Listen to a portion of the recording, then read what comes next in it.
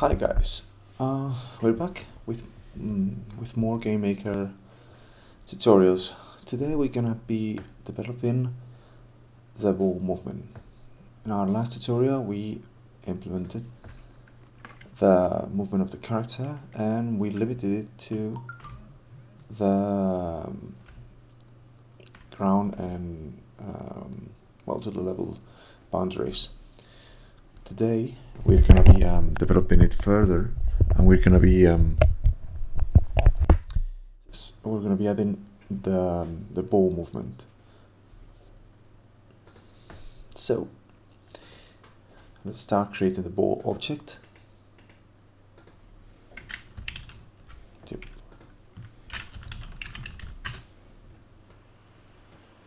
We're gonna give it a sprite and we're gonna um, see okay so this ball is uh, oops. This ball doesn't for some reason it's not in the center. The origin of the object must be sorry the origin of the sprite must be in the center. And damn it. Made a mistake. We had an object here. It is a um, this is our medium sized ball so we uh, may want it to be bigger so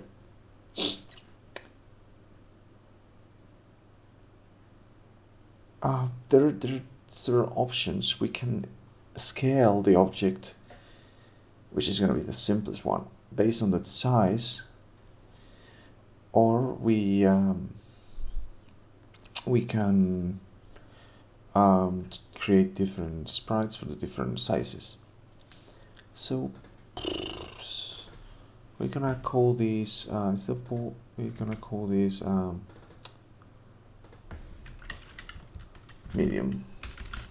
Okay, because that's the size that it's gonna have, and we will later develop what to do with big ball, which is to be split into medium balls. The medium ball is to be split into small balls, etc. I mean, there's gonna be a, there's gonna be a big, uh, sorry, a very big ball, a big ball, a medium ball, and a small ball, and each one is gonna be roughly twice the size or something like that. The previous one. Anyway, we're not gonna be um, bothering. Actually, we're gonna start with the very big, okay? Because I think it's it's gonna be easier. So the very big we're gonna be uh, creating a uh, and so we're gonna be adding an event in the create. We're gonna make it bigger. So the very big ball is uh, somehow big. It's gonna be like um, three times the size of a normal.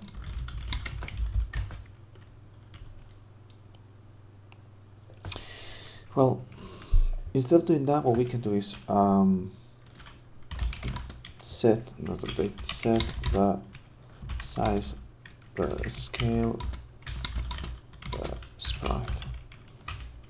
Sprite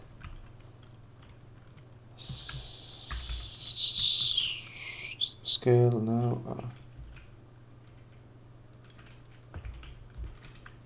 About image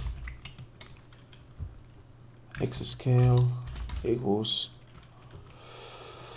border scale and.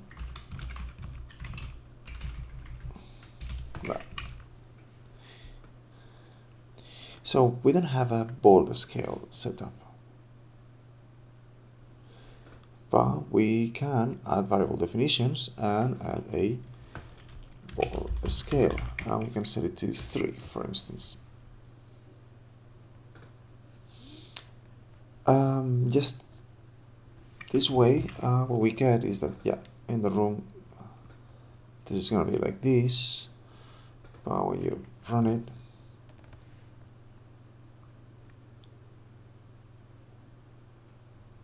but it was expected so oh somehow I wrote this to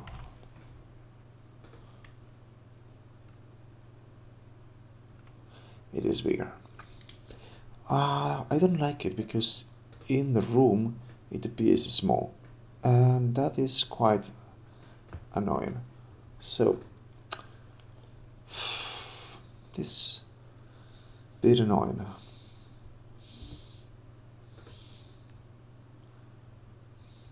I'm gonna gonna create a um, I'm gonna duplicate this sprite and there's gonna be this ball very big okay? What we're gonna do is we're gonna edit the image image resize all frames. We're gonna be scaling the image we're gonna make it 96 and 96 and we're gonna apply and it's you know it's the same. And it's close. Keep it in the center and that's right. Um, it's just kind of annoying that it's not really adapting but anyway. We will make do with that for now. So in here what we're going to be doing is to be using that. The button scale the scale is going to be 1 and we will use the ball scale for different um,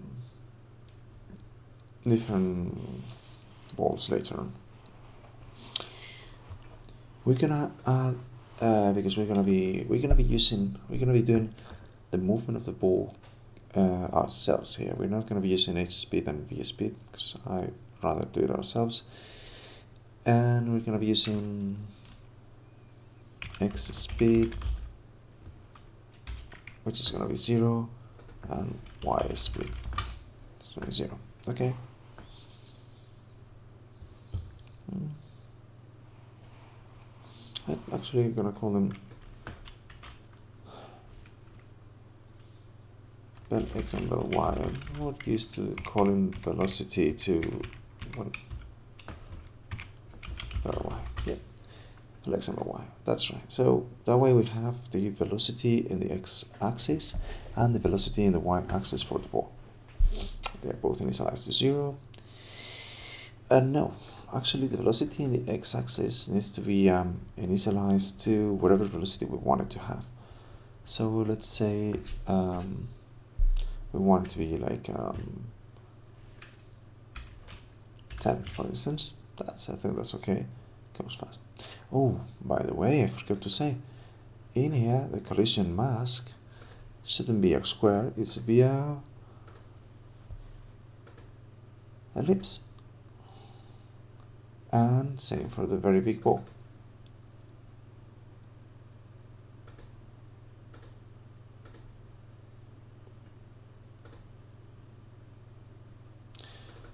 So let's make it move. First so so we um so we're gonna create a custom step event and then the first thing we do is we um, do the horizontal movement.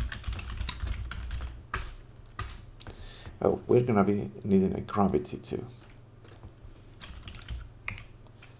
which we're gonna set to the same as we set the, uh, the one for the player 0.5.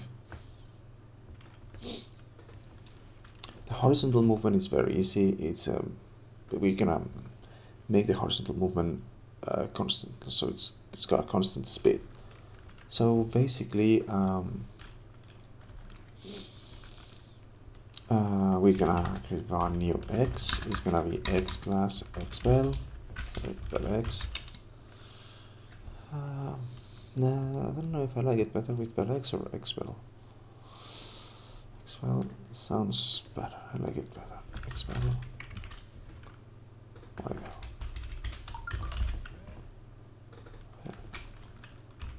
Yeah. Expel. So.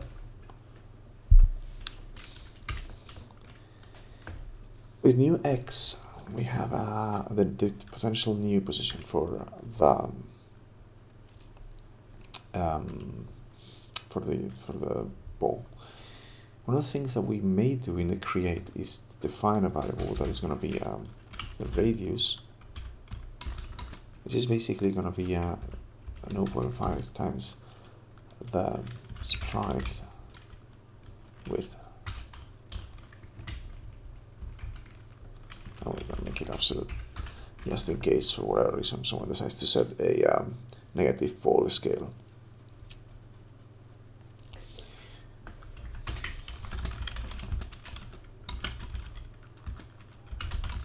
Calculate the radius in the crate so that we do it only once.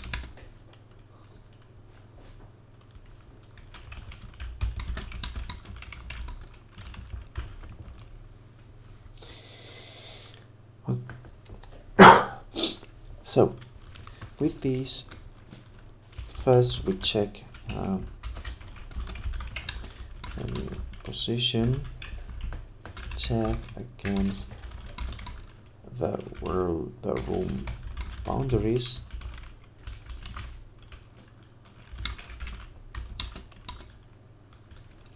Which is going to be um, 16 plus the radius.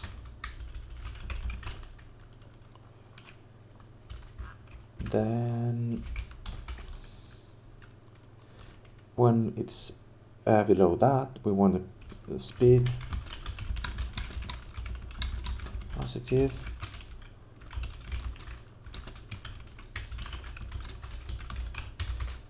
and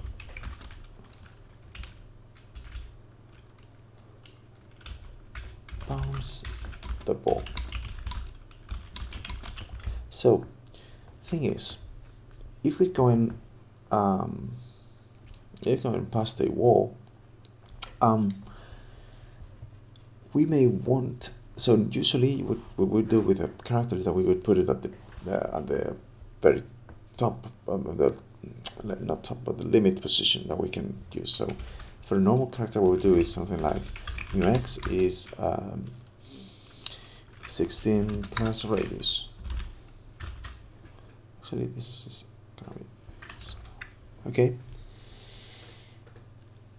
But in this case what we want is uh, the ball to bounce. So we've got a constant velocity right? And when we hit a wall what we do is we uh, move the, uh, the opposite direction. So, what does this mean? This means that we are gonna be, um, so if, if it was moving, let's say at 10 units per second, and we have two units till the wall, then we're gonna be wasting like 8 units of movement. While in reality what it would do is it would move 2 units to the wall and then 8 units back in the other direction, right? So why not do it? Let's do it. So, what we do is, um, so probably we want to start left, gonna be this, right? So this. Bounce this x is gonna be new x, uh, sorry, left minus new x. This is how much we've gone into the the the wall. And then what we do is that the new x x is mu x is left plus bounce test x.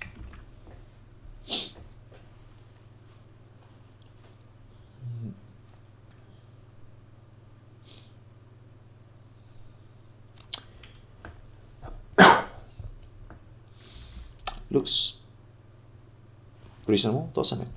So we move past the wall a certain distance. What we do is move back the distance inside the room. We have to do the same thing uh, on the other side.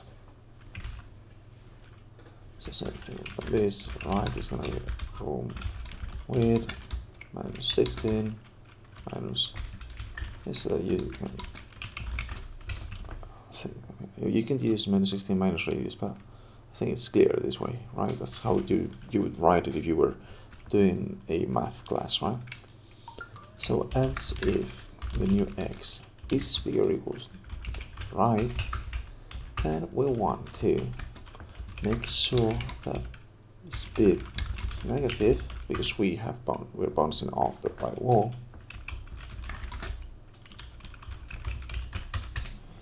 And bounce the ball the wall. So now bounce this x is gonna be the other way around. It's gonna be new x minus right. And new x is gonna be right minus bounce this x.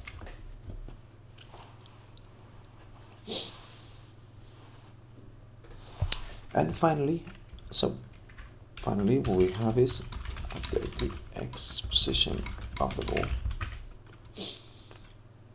x equals new x.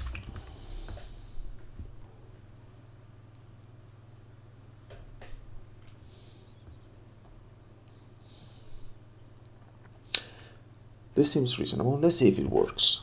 What we should see is the ball moving left and right, left and right at a constant speed, which is good. Yeah, that's exactly what we wanted. It's going a bit fast, but yeah, uh, maybe let's put it to 8. Still, um, even if it is what we wanted, it's not, um, it's, it's not finished. We still need to make sure it bounces. It has to go down, bounce up, etc.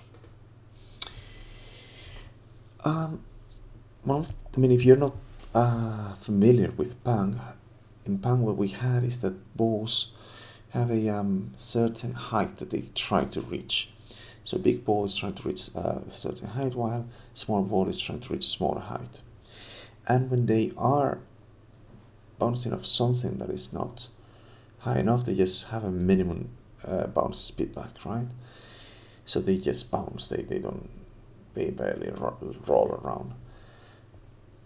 But with the um, but in general, it's not that they are bouncing always the same speed of any surface. Instead, sorry, what they do is they um, they bounce they bounce at certain speed to reach certain height. In GameMaker, um, the height you, must consider that the zero zero is in the top left corner. So if we set a certain height, um, we need to um, we need to consider that the velocity is going to be negative. All right. Uh, here is where I am missing a uh, a whiteboard because right now is what I'm going to be trying to show you the math behind this. And to be honest, I'm not sure how to do this best uh, when recording a video. I don't have um, something that, where I can write, and I am not. Sorry, I don't have you know like a pen and and a, an iPad or something where I can write, which is you know annoying because that would help a lot. So what I'm gonna do is I'm gonna be um, um, writing the um, the the equations in the code, like in comments. And maybe I'll try later to help you with this kind of problem and try to find somewhere I could write with a pen and paper and you and I can record it, pen and paper or pen and iPad or whatever, and record it so that you can understand better what I mean and what equations we're using here.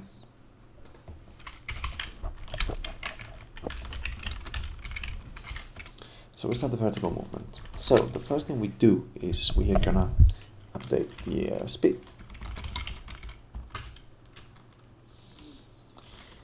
So um, y bell is equals graph. Oh, I forgot. We have to find the uh, target height.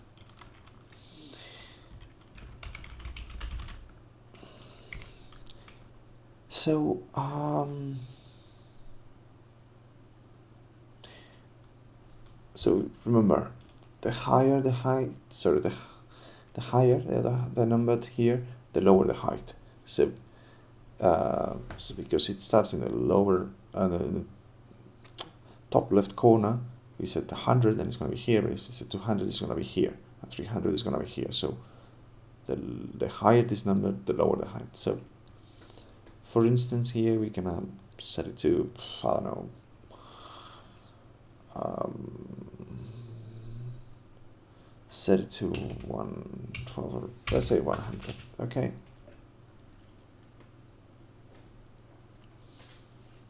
So update the speed. Ah, wait sorry going back to the code. First thing we do is update the speed and then with a new speed calculate a new position.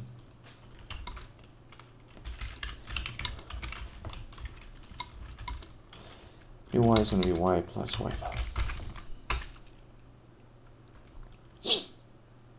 um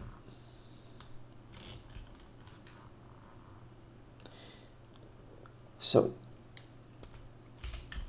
we have to check against room boundaries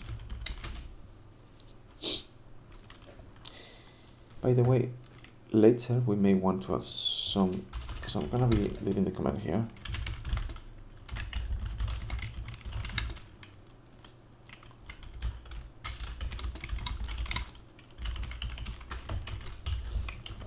I kind of like doing this. Like if I know I'm gonna have to do some other code later, but I don't really need it now. Like later we may add bricks and we may have to add collisions with those bricks.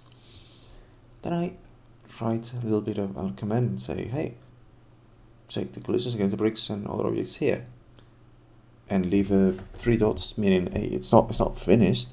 We'll do it later, but you know, it's the code should go here. it's also a reminder that you still have to do something there. Hey, don't forget, you, you got you got code to do there. So anyway, we were um, checking again the boundaries in the y uh, axis. So the first thing is if new y is lower than um, well, let's calculate first the top and the top is going to be um, 16 plus radius bottom is going to be room height minus 16 plus radius. If new y is lower than top, well, when we're um, bouncing off the top, we're to bounce back at the same speed that we came. This um, this actually shouldn't happen, but anyway, we are just gonna create this, this option anyway. So, um,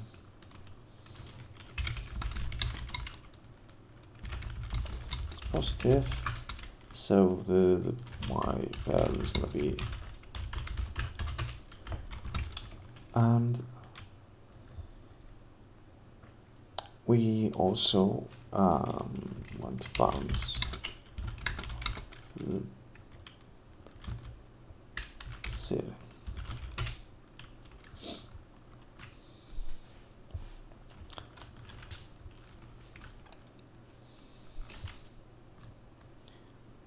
So, um,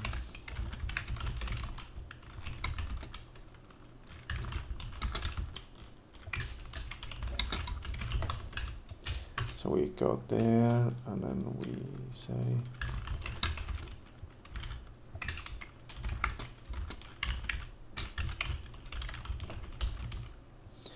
this is not particularly correct but anyway because um, the velocity not particularly happy with this but anyway this is not going to happen very often and when it happens it's gonna it's not going to be completely correct because if we wanted to go at the same speed as it was coming, we should consider how much it's gone and then, you know, make some calcs. Uh, or I don't know. But on the other hand, it's it's gonna feel alright. It's the, the, the difference is gonna be negligible. So so I think it's okay, even if it's not completely correct and well we're not going for a completely physically accurate simulation, well, gosh, I mean, we're working in 2D. There's not physically accurate simulation in 2D. You know, the world is not 2D. But it's um, it's going to be good enough. And then else if new is bigger than bottom, then yeah, we're gonna have this is gonna be a um, more complex. So first thing we can do, later we're gonna have to check collisions against bricks objects and update the y position of the ball. Uh, yeah, I like sometimes to, I mean, if I know there is a bit of code that is complex, I'm gonna first finish the easy part, which is, you know, I mean, this is exactly the same as this one, and then go on with the hard part, right? So, uh, so we have several options. Um, but the thing is, we, in any case, one of the things that we want to do is to um, calculate the speed based on the position of the ball. So, um,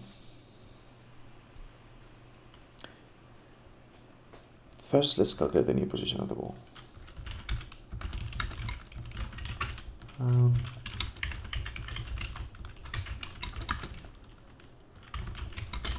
bottom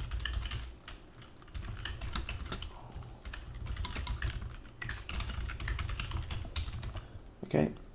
So we already have a new position. With a new position the, um,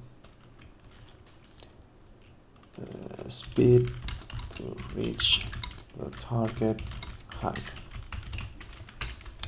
So we want to reach target height right? And that means that we we have like um so we're currently at a so let's say that it is our y is uh well, new y is the new is the is the current position. Let's call it y okay?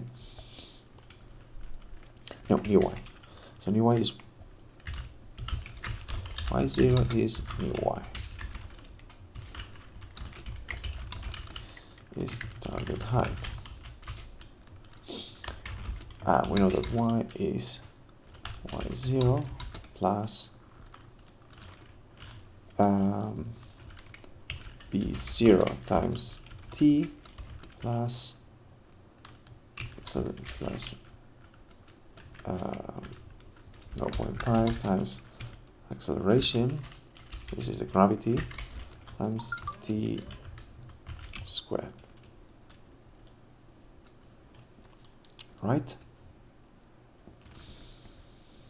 So if y is going to be y1, this we, we have to make it y1 is equal to y0 plus b0 plus t times t plus 0.5 times the gravity times the t squared. Right? So uh, we, we, we have two, um, two variables here b0 and t. The rest are constants. The gravity, y1 and y0, they're constants. But then we know something else. We wanted to reach the target height, but we wanted to reach it and stay there. That's, that's the most. So we also want to do something like this. So uh, we, we know that v is v0 plus a times t. And we want v1 to be 0, which is going to be uh, be 0 times gravity, gravity, times t. So we know that v0 is going to have to be minus gravity times the time. Good. Now we can substitute this, this part here in here and we have that y1 is going to be y0 plus minus g times t times t plus 0.5 times g times t squared. If we develop this further, what we get is that y1 is y0 minus g times t squared plus 1.5 times g times t squared. Ooh, that looks nice, right? That means that y1 is y0 minus 0.5 times g times t squared.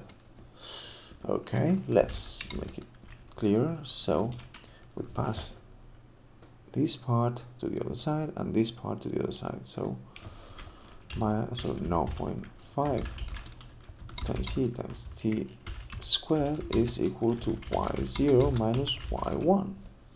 Good, good.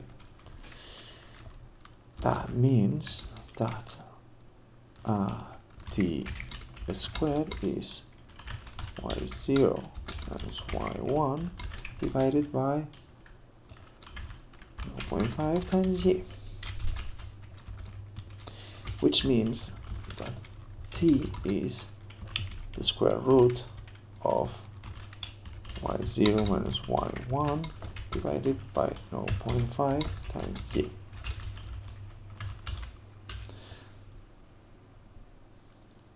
And obviously, uh, b sub 0 to be um, minus g times this here.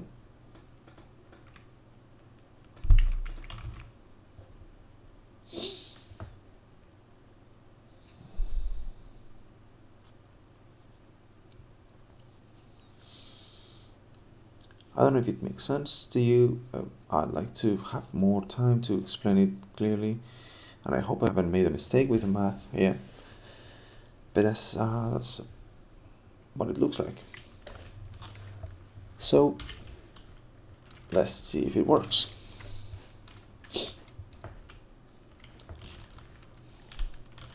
My band is gonna be graph times square root of y0 which is y minus target height divided by 0.5 times graph. Well, there is only one way to know if this was right or not.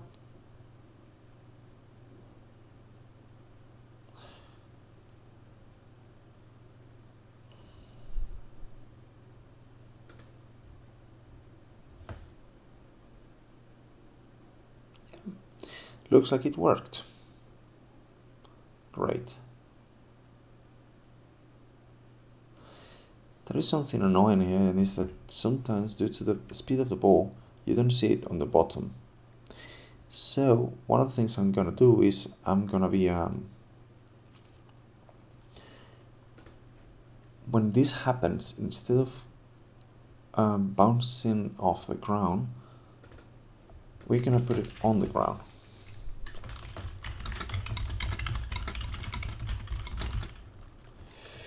to graphically uh, to more explicitly so that it bounced off the ground.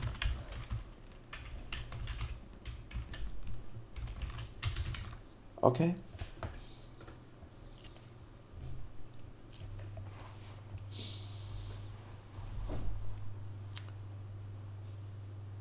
So, um, yeah, this is gonna still work because our velocity is not dependent on, on the position where we are, but no. another thing that I'm gonna do is I'm gonna reduce the the the gravity because it's um, because I want it to be I want it to go a little bit slower otherwise it's gonna it's going too fast yeah it looks better but now we should I should reduce the X speed because otherwise it's not it's going too fast.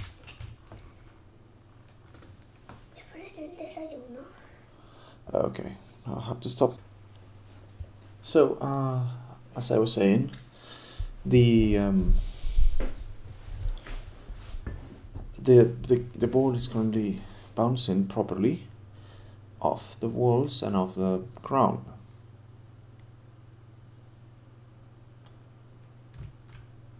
You can still and it looks nice it's got a nice movement to it. Yeah.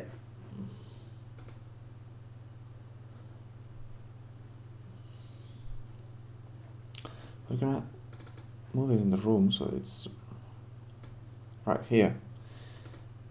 And yeah.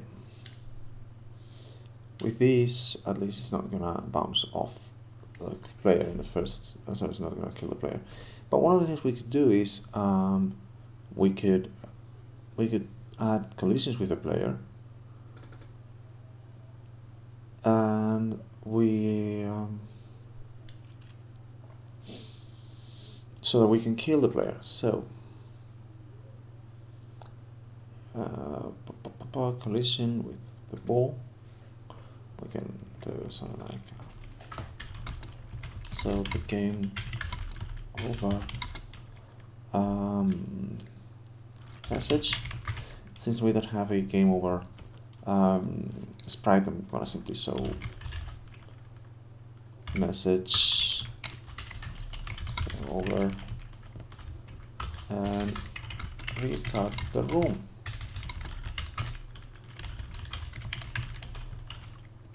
Okay, this is not a very, I mean, this is not the best way of doing this, but uh, yeah. Yeah, it's game over. So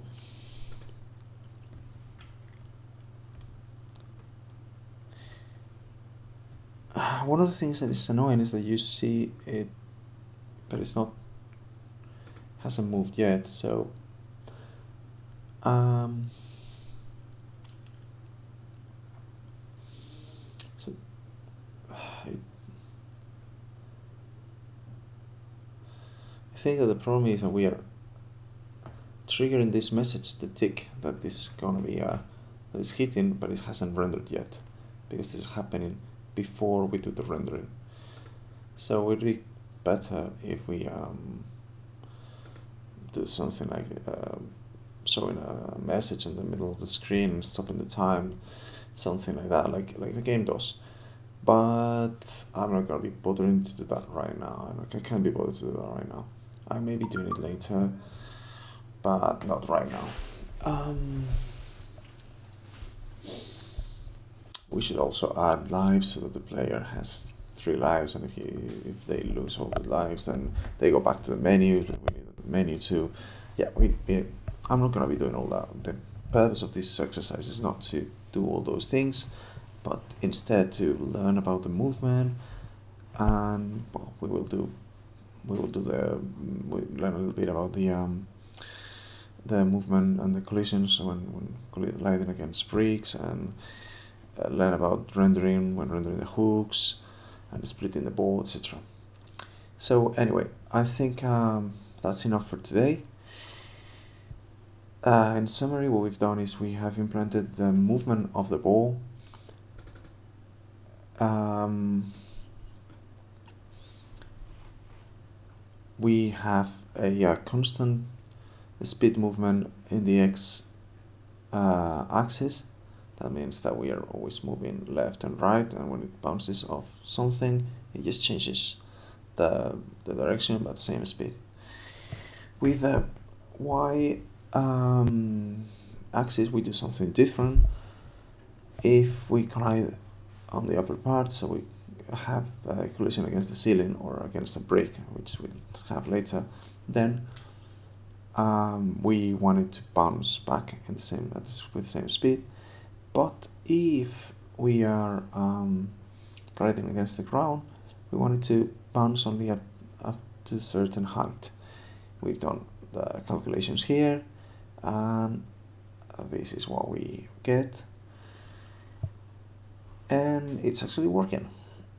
Um, so next, um, in our next uh, next day, we will do probably the colliding against bricks because it's got a lot to do with what we're doing now.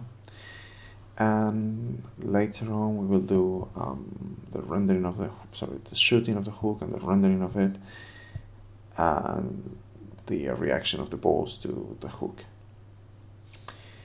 well see you guys in the next video. Bye